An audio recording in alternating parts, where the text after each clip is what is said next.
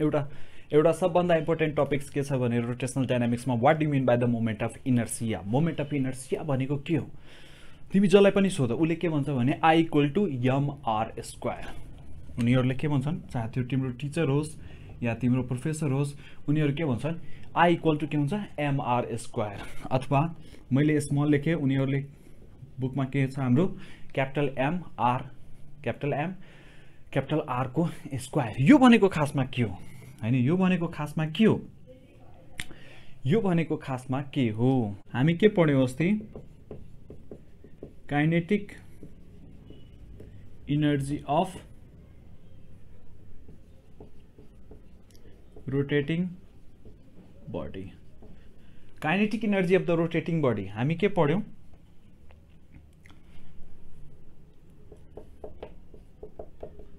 हामीलाई थाहा छ काइनेटिक इनर्जी के हुन्छ? Half of the MB square हुन्छ कि हुँदैन?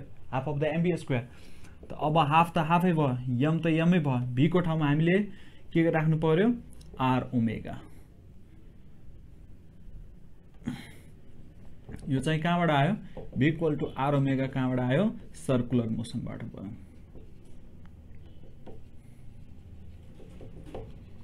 यो यस्तो किन गरेको? किनभने कुनै पनि अब्जेक्ट के के भइरहेछ भने सर्कुलर मोसनमा घुमिरहेछ। होइन रोटेसनल डाइनामिक्स पनि के छ भने सर्कुलर मोसनमा है सर्कुलर अर्बिटमा चाहिँ घुमिरहेछ। सर्कुलर अर्बिटमा होइन circular direction circular three hundred sixty डिग्रीमा चाहिँ के भइरहेछ भने घुमिरहेछ। त हामी यहाँ के लेख्न सक्छौँ? भी स्क्वायरको V square half of the MR square omega square होइन? एमआर स्क्वायर एउटा टेबलमा आउँछ अनि त्यसपछि के हुन्छ? ओमेगा स्क्वायर त यो के हुन्छ? हाफ यसलाई यदि हामी डिनोसन आईले गऱ्यो भने यो के हुन्छ भने? ओमेगा स्क्वायर होइन? चाहिँ के आई चाहिँ के को रूपमा काम गरिरहेछ? रोटेसनल डाइनामिक्समा एक प्रकारले मासको काम गरिरहेछ जसलाई हामी के भन्छौँ? मोमेन्ट अफ इनर्सिया है? अब हामी पढ्न गइरहेछौँ। Acceleration of a rolling body on an incline plane है? Rolling body on an incline plane त हामी के गर्छौँ? एउटा इन्क्लाइन प्लेन प्लेन बनाउँछौँ। इन्क्लाइन प्लेन जस चाहिँ जसको हाइट चाहिँ के हुन्छ भने जसको हाइट चाहिँ एच हुन्छ यो चाहिँ के हुन्छ थिटा हुन्छ र यो चाहिँ के हुन्छ राइट एङ्गल ट्रेङ्गल पर्पेन्डिकुलरली र मानु कुनै बडी यहाँबाट छ। यहाँबाट के भयो? रिलिज गर्यो यतातिर मोसन छ यसको र यतातिर होइन? र यो बडी के भयो? सर्टेन एस्लारेसनले चाहिँ के गर्यो फ्रिली फ्रिली यसलाई के गर्यो भने रोटेट गर्यो है? इनिसियल भेलोसिटी यसको कति हुन्छ? जिरो मिटर पर सेकेन्ड त्यहाँबाट रिलिज गर्यो जसको हाइट यो हुन्छ। र यो हाम्रो के भयो? यहाँदेखि लिएर यहाँसम्म that is said as displacement right angle ट्राइङ्गलमा यो नाइन्टी भयो यो थिटा भयो। त्यो यो एङ्गल कति हुन्छ हाम्रो? कति हुन्छ? नाइन्टी माइनस थिटा ओके ल अब हामी अब हामी acceleration of a rolling body on an incline plane है? मानु कुनै एउटा यो राइट एङ्गल ट्राइङ्गल जस्तो छ सेप होइन? यो हाइट एचमा छ र रोलिङ बडी त्यहाँ राख्यो भने for example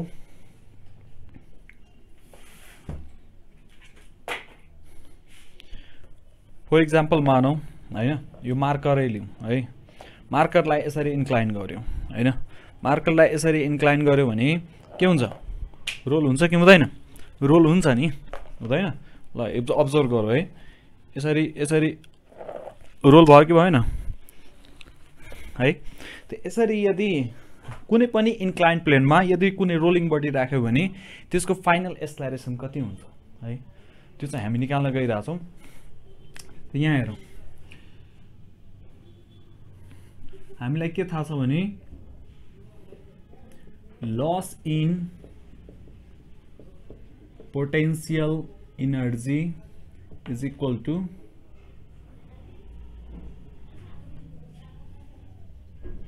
gain in kinetic energy है पोटेन्सियल इनर्जी पोटेन्सियल इनर्जी भनेको energy content in a body due to its position मानु मार्कर तलदेखि मैले माथि ल्याएँ ठिक छ? त यसमा पोटेन्सियल इनर्जी के भयो? एमजिएच होइन? यसको मास यसलाई reason due to gravity G र यो कतिको हाइटसम्म उचाल्यो होइन? किनभने छोड्दाखेरि त्यो त्यत्तिकै हाइटमा गएर के हुन्छ भने बस्छ from the ground surface so the potential energy content in it's the potential energy related with this marker is M G H similarly यो रोलिङ बडी चाहिँ के गर्यो भने हाइट एचमा राख्यो भने हाइट एचमा राख्यो भने योसँग भएको पोटेन्सियल इनर्जी चाहिँ कति हुन्छ हाम्रो? एमजिएच के हुन्छ? MGH equal to gain kinetic energy total kinetic energy हामी योभन्दा प्रिभियस क्लासमा चाहिँ पढाएको छौँ gain in kinetic energy total kinetic energy कति हुन्छ? Half of the MBA square one plus K square by R square हो कि होइन? ल। यम र यम गयो। हामीलाई पहिला एमबिए स्क्वायर है? हामी के गर्छौँ अब? टूलाई उता लिएर जाउँ। त two GH two GH two GH by. यो तल आउँछ। के हुन्छ? One plus K square by R square equal to V square. ठिक छ? अब हामी थर्ड इक्वेसन्स अफ मोसन लगाउँछौँ। जुन चाहिँ के छ? V square equal to U square plus two AS छ कि छैन? छ नि? त हेर त यो अन्डर द ग्राभिटी आइरहेछ तर के छ भने इन्क्लिनेसन फर्ममा आइरहेछ हो कि होइन इन्क्लाइन फर्ममा आइरहेछ सिधा सिधा आइरहेको छैन त्यसैले हामी के राख्यौँ? एस्लारेसन है? एस्लारेसन किनभने यो चाहिँ के छ एउटा कम्पोनेन्ट छ र एस भनेको यो डिस्प्लेसमेन्ट इन्क्लाइन्ड सर्फेस कतिको सर्फेस कतिको इन्क्लाइन्ड छ? B square equal to UK छ हाम्रो initial velocity zero plus two AS कति छ? टु एएस त हामी यहाँ के लेख्छौँ? भी स्क्वायरको ठ स्क्वायरको ठाउँमा टु एएस लेख्छौँ है। त two GH by one plus K square by R square is equal to two AS किन? किनभने two A B square equal to two A two AS कहाँबाट आयो? यहाँबाट आयो। इक्वेसन्स अफ मोसन्स है। जुन चाहिँ हामी तिनवटा पढाएको छौँ V equal to U plus AT S equal to UT plus half AT square र V square equal to U square plus two AS third equation लगाएको हामी किनभने हामीलाई एस्लारेसन चाहियो। त भी स्क्वायरबाट चाहिँ हामीलाई एस्लारेसन चाहियो। त यो इक्वेसन हामी युज गर्छौँ यो कन्डिसन त भी स्क्वायर इक्वल टु के भयो? यु जिरो भइदियो। त के हुन्छ? टु एएस त टु एएस हामी लेख्यौँ है। अब हेर टु र टु गयो। गयो कि गएन? अब हेरौँ। एस्लारेसन है एस्लारेसन छ।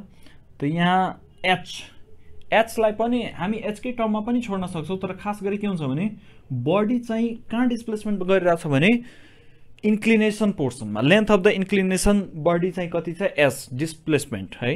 कतिको बडी डिस्प्लेसमेन्ट गर्यो त हामी एचलाई पनि एसको टर्ममा लेखौँ है? एसको टर्ममा किन गर्छु? किनभने इन्क्लिनेसन होइन? इन्क्लाइन प्लेनको चाहिँ के छ भने लेन्थ त एसको टर्ममा दिएको छ। हामी यहाँ के लेख्छौँ? एच इक्वल टु के हुन्छ? एस के हुन्छ? Cos ninety minus theta. किनभने कुनै पनि लाइनको एउटाको एउटा लाइन होइन यो मानु बी छ भने बी बराबर कति हुन्छ? ए को कस थिटा। है? मानु ए छ यहाँ थिटा छ र यो बी छ भने बी इक्वल टु के हुन्छ भने यो लाइनको रिफरेन्समा चाहिँ के हुन्छ भने यो इन्टु कस थिटा। त मैले पनि के गरेँ? एच छ होइन? त हामी एच छ त यो एचलाई चाहिँ एसको टर्ममा कसरी लेख्छौँ? एच इक्वल टु के हुन्छ? यो एस र कस नाइन्टी माइनस थिटा। यो के हुन जान्छ हाम्रो? एच इक्वल टु एस के हुन जान्छ? Sine theta. भन्नुको मतलब एच इक्वल टु कति आयो हाम्रो? S sine theta. त हामी के लेख्छौँ? जी एचको ठाउँमा अब हामी कति लेख्छौँ? S sine theta by one plus K square by R square is equal to AS S र एस गयो। गयो कि गएन? त हाम्रो लास्ट रिजल्ट चाहिँ के आउँछ? Acceleration equal to G sine theta by one plus K square by R square के भयो हाम्रो? Acceleration of a rolling body acceleration of a rolling body on an inclined plane last result is a equal to g sine theta by 1 plus k square plus 1 plus k square by r square. Okay कतै कतै के दिएको छ भने acceleration of a rolling body in on an incline plane in terms of moment of inertia in term of moment of inertia योभन्दा पहिलाको क्लासमा हामी के पत्ता लगायौँ? के को टर्ममा हामी पत्ता लगायौँ? के भनेको रेडियस अफ गाइरेसन के स्क्वायर होइन? के स्क्वायर हामी यो पत्ता लगायौँ। कि एस्लाइरेसन इक्वल टु के हुँदो रहेछ G sine theta one plus K square by R square हुँदो रहेछ भन्ने कुरा हामी पत्ता लगायौँ। त यहाँ चाहिँ के भयो? रेडियस अफ गाइरेसनको टर्म्समा हामी के गर्यौँ भने एस्लाइरेसन पत्ता लगायौँ। अब एस्लाइरेसन पताउन पत्ता लगाउन गइरहेको छौँ हामी के को टर्म्समा मोमेन्ट अफ इनर्सियाको टर्ममा आईको टर्ममा त हाम्रो केही खासै गाह्रो छैन एकदम सजिलो छ होइन? अब हेरौँ। लस इन पोटेन्सियल इनर्जी पहिलाकै इक्वेसन जस्तो हामी के लेख्छौँ? MGH gain in kinetic energy त टोटल काइनेटिक इनर्जी मतलब के भयो? Half of the MB square linear kinetic energy होइन? Total kinetic energy linear linear plus circular त सर्कुलर हामी के गर्छौँ? Half of the I omega square ठिक छ? अब के गर्छौँ हामी? MGH equal to half of the MV square plus half I V omega equal to के हुन्छ? हामीलाई थाहा छ V equal to R omega हुन्छ। त भी बाई आर राख्यो भने के हुन्छ हाम्रो? ओमेगा त ओमेगा स्क्वायर मतलब के भयो? V square by R square गरौँ। ठिक छ? अब हेरौँ। एमजिएच भयो equal to half of the M V square common लियो के बाँकी बच्यो? One plus